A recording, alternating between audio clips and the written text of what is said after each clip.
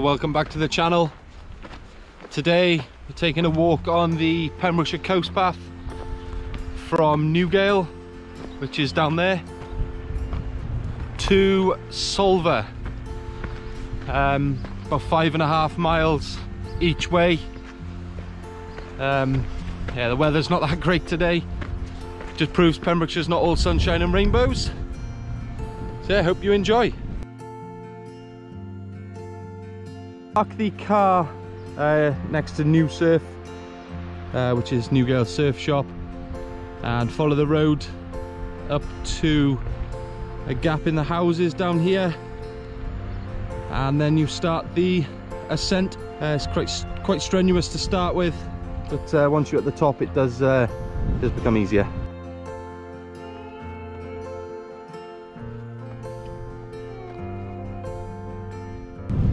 Newgale is a uh, west-facing beach, um, so it does take quite a bit of wind throughout the year, and that proved popular with uh, surfers, etc. Down on the beach there, uh, the water area there is St Bride's Bay. Uh, you'll see tankers and everything anchored out there, waiting to, or waiting for confirmation they can arrive into the Milford Haven waterway. I have walked this section once before uh, at five o'clock in the morning. Uh, it was pitch black, so obviously didn't get much footage. In fact, I didn't get any. There are a number of steps as you start to descend into Cwm Mawr, uh, which is the name of the valley here. But they are pretty well looked after, pretty solid steps. Now that there is a pretty spectacular building your own access to the beach. Pretty secluded there as well.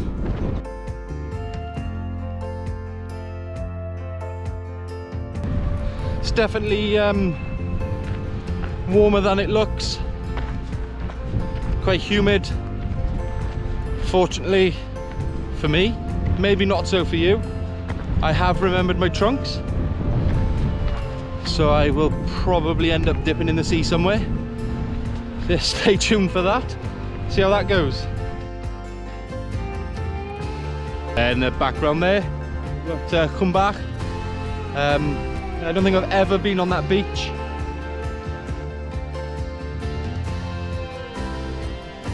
Yeah, in the very far distance there, you've got uh, Skomer Island. And then uh, the mainland there, Wooltack Point. I cannot remember this many steps and they're really high so they're quite hard to uh, maintain any speed up. Just taking the views instead.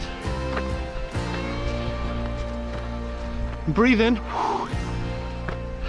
the one good thing about navigating on a coast path you can't get lost. As long as you keep the sea on your left or your right depending which way you're going. If you're heading north, keep it on your left. If you're heading south, keep it on your right. There seems to be a lot of um, talk at the moment on various social media outlets about mental health and just general well-being. Um, personally, this sort of walk does wonders for me. Uh, gives you time to switch off you're doing what you're doing. You, you've got no time to think of anything else. Um, just being outside definitely does something for your self-perception. It increases your self-esteem, uh, your stress levels, your mood levels. And ironically, the more exercise you do, the less fatigued you feel. Weird one that. Uh, just get outside. Go for a walk, it doesn't have to be massive any walk, any time outside, any time away from screens, TVs, just outside, fresh air. Don't forget, if you're on Instagram, uh, drop me a follow at the underscore devine underscore outdoors. Um, don't forget to tag me in your pictures, uh, out and about. Like, share, subscribe, to this video. You'll be kept up to date with all the uh, latest releases. The coastline is an awesome place to walk. You very rarely see the same thing twice in exactly the same situation. Um, yeah, it's it's an incredible place to walk. Pretty lucky in Pembrokeshire. Uh, we've got 186 miles of coast path. Uh, stretches around the entirety of the county. And then further inland we got some hills, mountains, whatever you want to call them.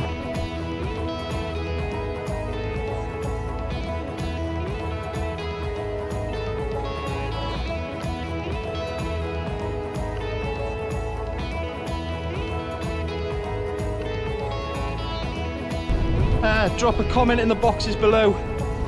Tell me where you're watching it from, what part of the world. And I got viewers in Doha, in Qatar, Dinas Fawr in the background there. Uh, this stretch of coast path is completely different to majority of the coast path that I've walked. Whereas this is quite lumpy, you end up going up and down, up and down, up and down. Um, whereas the rest of it, once you're up, you're up as such. And when you're down, you're down. And when you're only halfway up, you're neither up nor, yeah, I can't remember that one.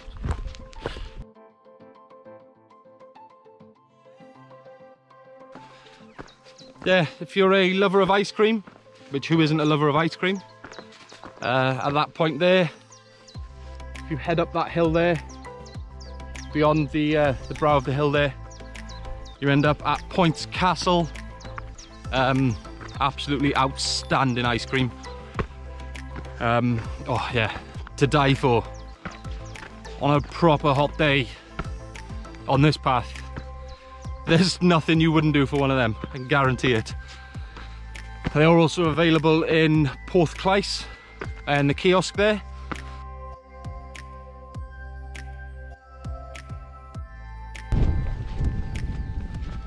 This part of the coastline is littered with caves. Um, majority you cannot get to without being on the water. So hopefully in the near future we're going to get the paddleboard out and uh, get into some of them.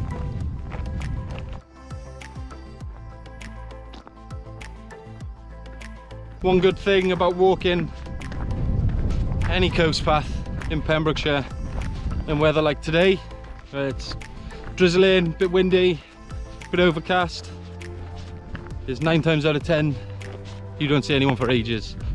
So it is literally just you, your thoughts and the path and slowly your thoughts disappear and you just take in what's around you. And that there is the top tip for life. Take in what's around you.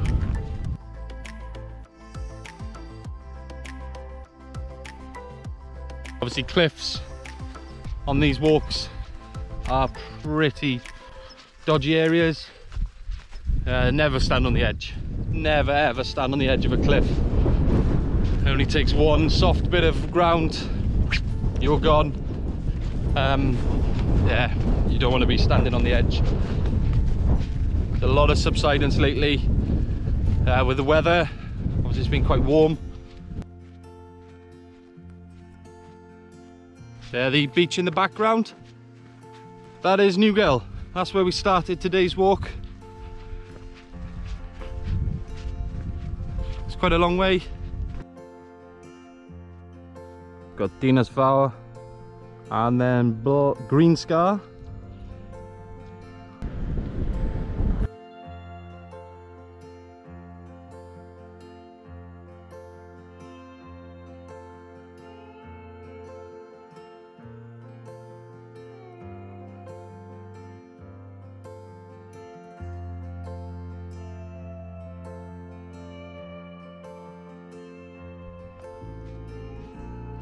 Kudos to the Pembrokeshire Coast National Park Rangers who have been out strimming the edges, um, yeah, opening the path up a little bit more. So yeah, fair play to you. Difficult thing to see. Um, I don't know if you'll be able to, but down there, all the plastic waste that's obviously been washed in. There is no access to that cove without going in from the water. Um, so yeah, it obviously just gets left there. Just stopped to uh, get a little nibble out my bag and uh, realised I'd packed my stove. Yes! So the next little cove we get to, I'm going to brew up a coffee uh, in my AeroPress. Go! And then we have St Elvis Rock. I don't know the story behind that one. And the entrance to Solva Harbour. Put that down there. Looks a good spot for a coffee. Whoa, she's chilly. Oh, nice though.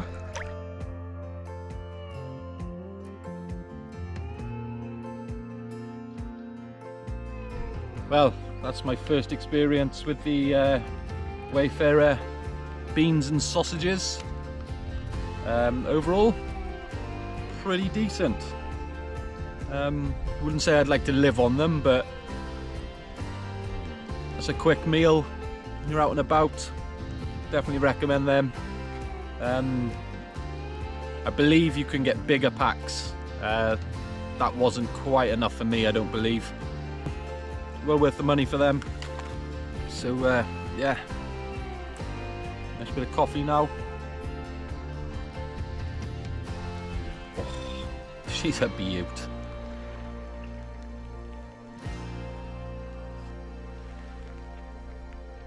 Bit of kit. Uh, it's the first time I've used it.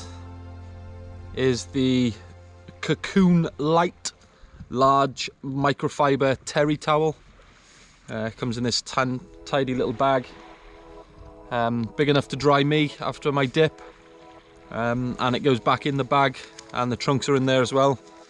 Um, yeah, I'll post a link to that um, below. Um, yeah, nice handy bit of kit that.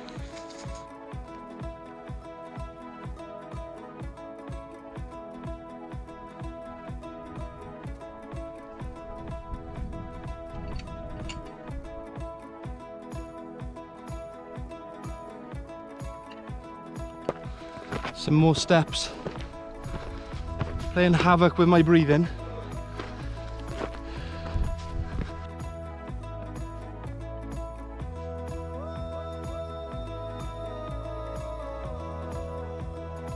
We make our way through this small woodland area and make our final approach towards Solva.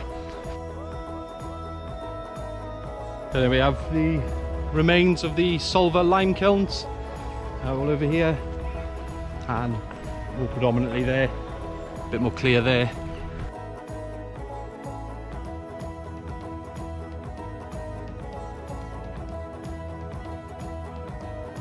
Well, that's Solva there. We've made it uh, five miles all in all. Uh, all that's left for me to say is thanks for joining me. Make sure you hit the subscribe button. Give me a thumbs up and we'll see you next week for another walk.